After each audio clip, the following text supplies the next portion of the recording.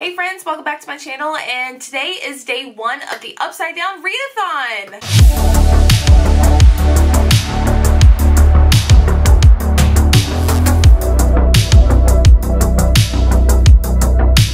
I am super excited because this will be my first readathon as a participant that I am going all out for. For some reason, anytime there's like Summerween or like even the Sun's Out, Books Out readathon, something was already happening like in my life to where I was not going to be able to give them at all. So I'm really excited for this week to hopefully daily vlog. So let's cross our fingers that happens. With daily vlogs they may not be super long 20 plus minute videos but i'm going to give it my all get it up for you guys because I'm super excited for this readathon. If you don't know what this readathon is, it is a Strangers Thing readathon hosted by six lovely ladies here on YouTube. You have Kendall, Caitlin, Liv, Jordan, Nahomy, and Lauren, who are the hosts for the readathon. I did post my September TBR video just a few days ago, but in case you missed it and you're just now joining the vlog series right here, I'll just go ahead and do like a quick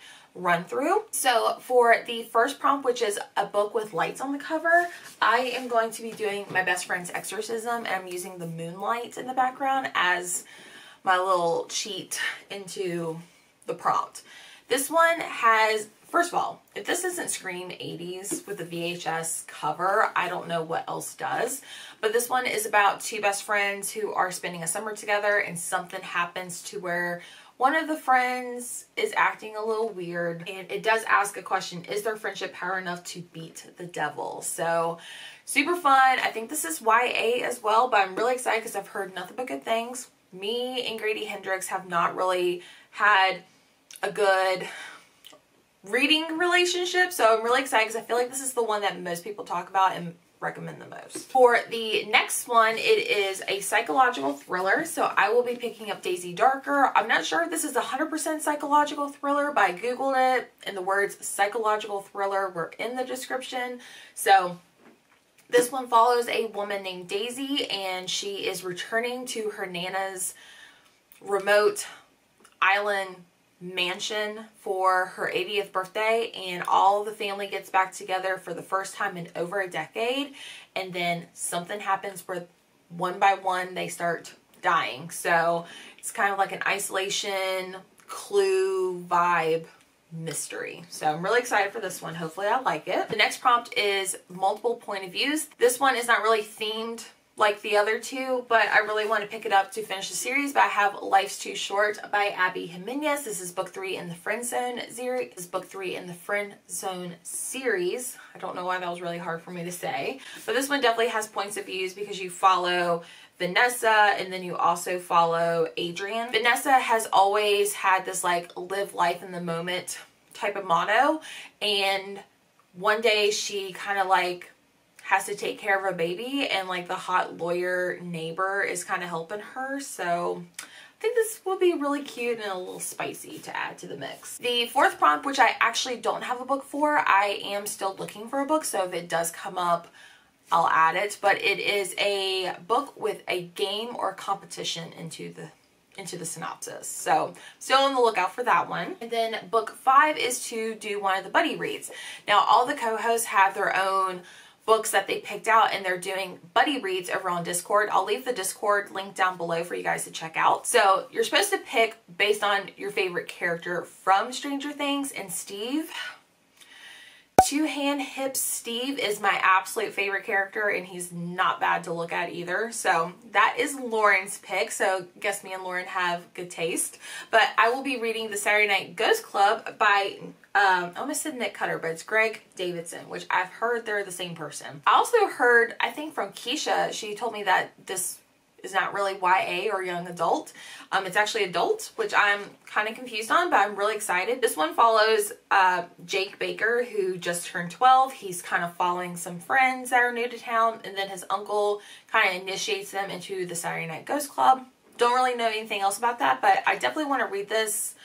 Probably, I don't think there's an audiobook for it, but I'll do some research. Today is also Labor Day and it's also my me and my husband's wedding anniversary, seven years if you can believe that. And it's also my oldest dog Ovi's birthday. He is eight years old, which makes me so sad because he's such a grumpy old man and an old fart. But I have the day off because we don't work on Labor Day where I work. I do have quite a few things on my agenda today. I want to do some planning, brainstorming for basically to redo my book club um, called Sleep When I'm Dead. I kind of want to redo it, revamp it a little bit, just kind of brainstorm ideas and try to get something done and ready for October, November. I would also like to take some of these books that are just staring at me um, in my unhaul pile. I'd like to go to like a few free little libraries. So I might take a few books with me just to kind of get rid of because I hate staring at this pile. Then I definitely want to go to Barnes & Noble and go some book shopping. Um, there are two books that I found out are available at my Barnes & Noble and then I kind of want to look for a third one. The two that I know are there, they're romances, but I definitely want to get I don't know, I feel like I'm falling more in love with romance and out of love with thrillers for some reason and I don't know why. So I want like an even balance. Also, I wanted to mention tomorrow night, Tuesday, I will have reading sprints on my channel. I usually do them every Monday night, but the hosts of the readathon are hosting it on Monday, which is totally fine. I will be there in the chat with them.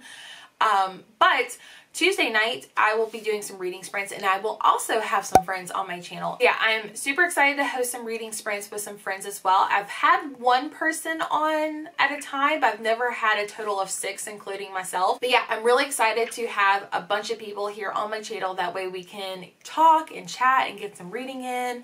But yeah, I will have Gwen over from Gwendolyn Kinsinger, Ashley's Little Library, Keisha from A Book Like You, Lena's Bookshelf, and Gabbing About Books. Yeah, I think what I'm going to do to kind of get like all my errands done, I think I'm going to start Daisy Darker and listen to the audiobook as I head into town.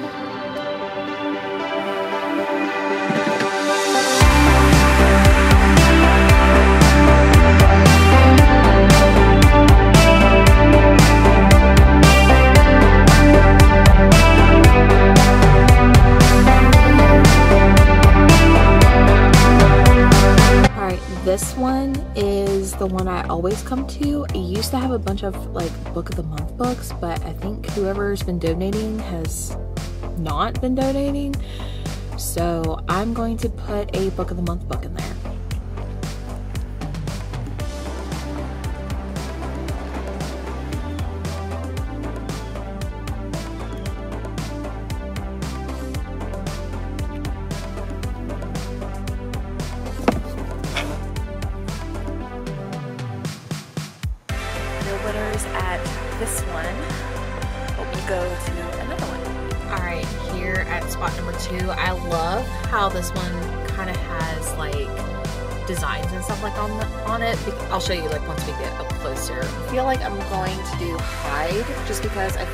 This one, because it's at like a children's playground, I feel like this book would be kind of good even though it's not really a children's book, but you know, whatever. And I also really want to get rid of this book, so. Also at a dog park, which is super cute. Um, nothing really at first glance. This one's ruined. It probably needs to be thrown away. That's a chunker. Yeah, nothing really in this one, so hopefully we'll put mine right up top so it doesn't get damaged.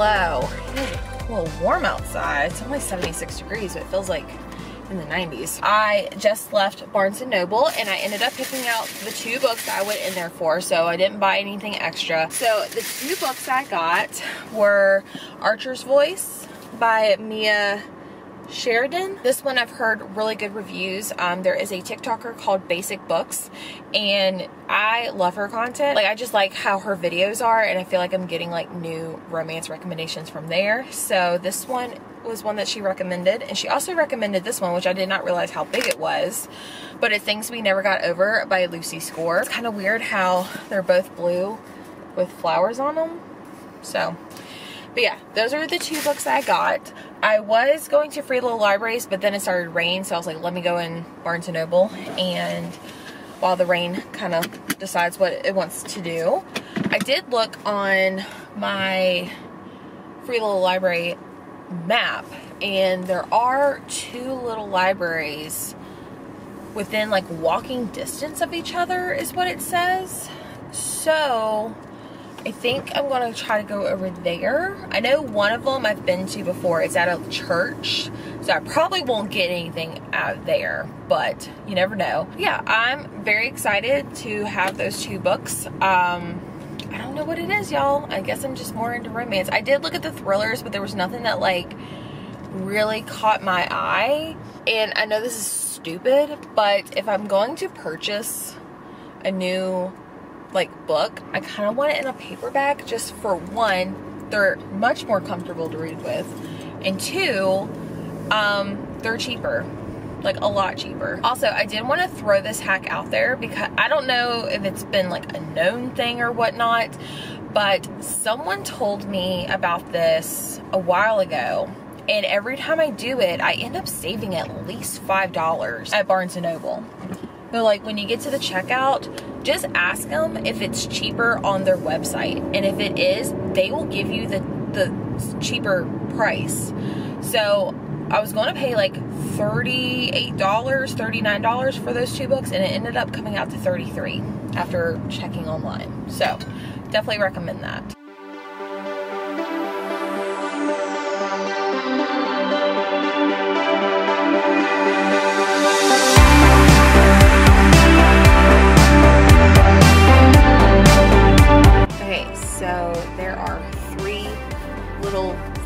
Books over there, like little libraries. So I'm not sure if that's like why it said there was two, but I'm going to give um, When You Were Mine by Michael Robotham. I feel like this is like the most tame out of the other ones, and it's right here in front of a church, so don't want to leave nothing spicy. Good, how are you? oh, there was someone kind of sketchy, like walking around. He kind of looked homeless, so I feel bad, but like, he like stopped in his tracks and like walked up to me. So I was just like, mm-mm. So I like dumped the book and I said, mm, peace out. So on my way to the next one, I found one just sitting on the side of the road. It doesn't have a lot, but it looks a lot more safer. So I'm going to turn the car off and take my keys with me this time. Alright, so this is a three tier one, but it looks like everything's up top. Let's see.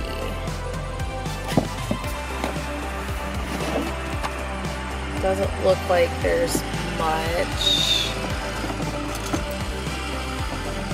The sound of healing. Cookbook.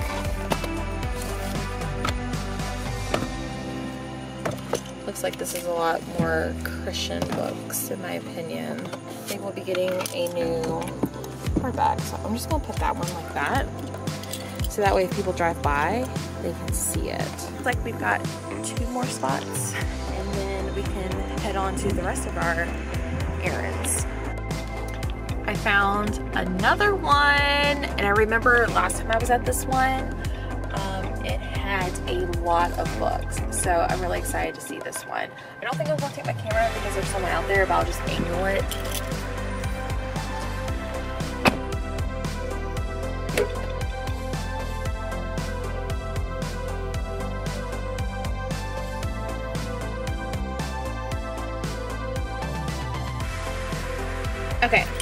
I dropped off the book and I did get something, but it's not a book. I got a puzzle. It's a little 300 piece puzzle.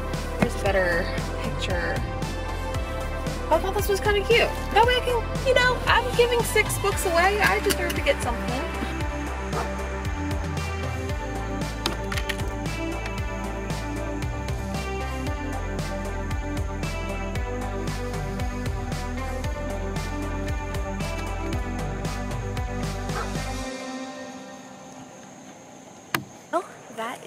The last stop of our free little library adventure. Um, although I didn't get any books, I did get a puzzle, and I did buy two books at Barnes & Noble. So I would consider that a success. All right, I think I'm going to head to like Walmart to grab a few things, especially for dinner tonight. Um, we're having pork chops, but I kind of want to make it like a little extra special because I have this like pineapple salsa that goes really well with pork chops. And then probably grab a few things and then we'll head home and actually get some reading in.